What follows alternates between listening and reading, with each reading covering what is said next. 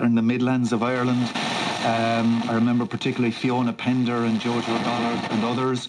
And being a father of daughters myself, I, I was very bothered by it and felt somehow implicated in something that was beyond my control. But still, the idea of being in a society where these things could have could happen, it seemed bizarre to me in Ireland of the squinting windows that nobody saw anything. And of course, that story has been back in the news in the last Yes. number of years again. And just give us a, a, a straight translation of Sure. Clonkellig na Súl. Here it goes. Oh no, just give us the, the of the title and then I'll listen to the musical version if you don't mind. So, do you want to? Yeah, just give me the English title uh, for that poem. It's just called Conspiracy of Eyes. Conspiracy of Eyes, Clonkellig na Súl, Oscuilga.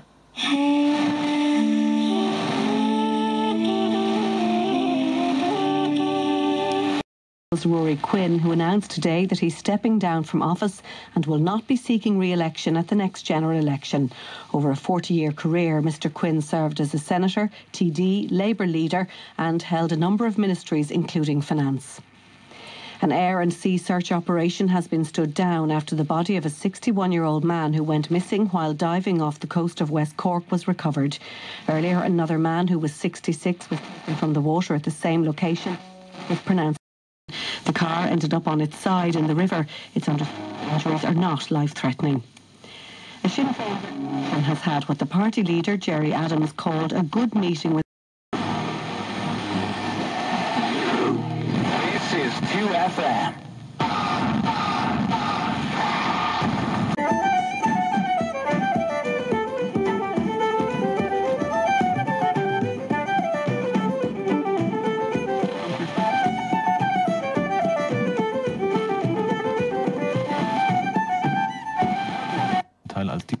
Die Ralph McLean on BBC Radio Ulster.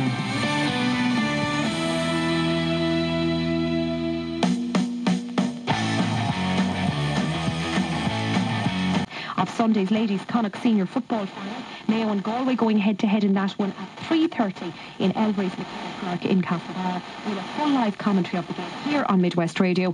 Mike Finnerty on commentary and Michelle Corbett on analysis on Sunday afternoon. And both the GAA and Sky have dismissed concerns about low viewing figures in the opening four live matches of their new broadcast deal. According to the Irish Times today, the three-year agreement, which is worth in excess of 10 million per annum to the GAA, has seen viewing figures decrease from 32,000 in the match between Kilkenny and Offaly on June 7th to an average of just 10,200 for last Saturday's Armagh versus Monaghan draw. Nice and easy, Paul.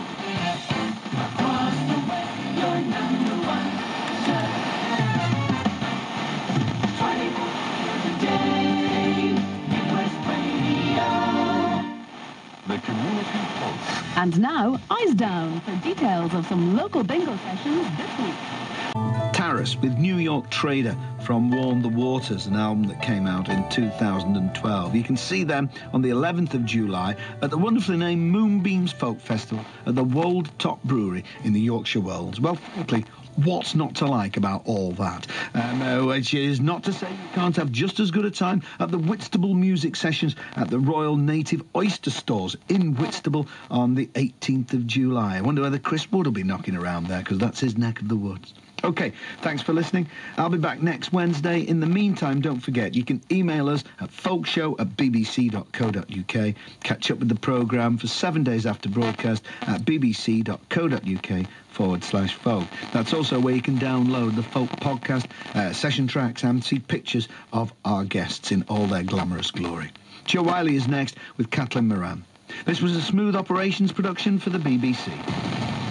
This is BBC Radio 2, online on digital radio and on 88 to 91 FM.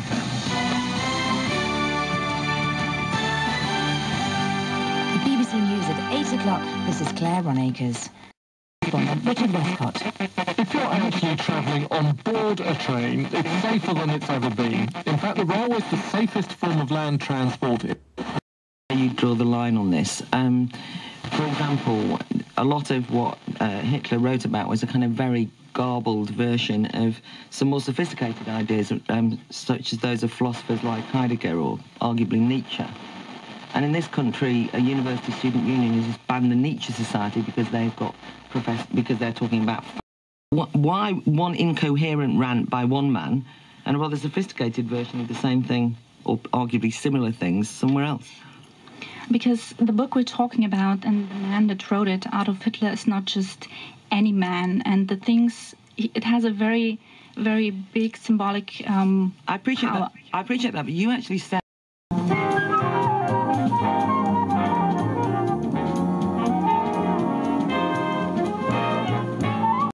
a little bit of tea-related jazz without summoning images of gents in sideburns disgracing themselves in a restaurant, and then they enjoy a rueful puff of a certain brand of cigar.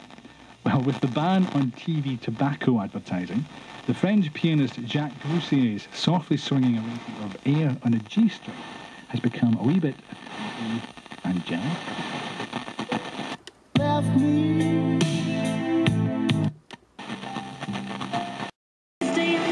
And when you say that these things are going to views like this are expression is an absolute right. Melanie? Well, um, can I can I just test out where the boundary, in your view, should be set? Um, if you had been around uh, in the 1930s, uh, would you have supported, for example, the right of Oswald? Or did he know long before that he would be condemned? Had nobody grace with this man innocent enough? Nobody grace with his unhappy wife and child there? Where my beloved husband is sleeping. Valerie Bushman. Uh, we'll check out after uh, tomorrow is Thursday, I think, yeah, Thursday. So um, another uh, competition time. So insurance to compare 14 different best price and are proud to sponsor the uh, Cork GAA. We're giving you the chance to win of tickets to the Munster football final this Sunday in Portland. Four pairs. You can check out our Facebook page, Game on RT2FM to win one pair. Like and share the status there. Over on Twitter, 2FM, we have another pair to give away. Just retweet the competition tweet, basically, to a chance to win. I was talking to him on Sunday at the cemetery back in this way, and we only meet in graveyards for some reason rather. but anyway, big fan of Marty Robbins. So here's Marty speaking to yourself, Thomas.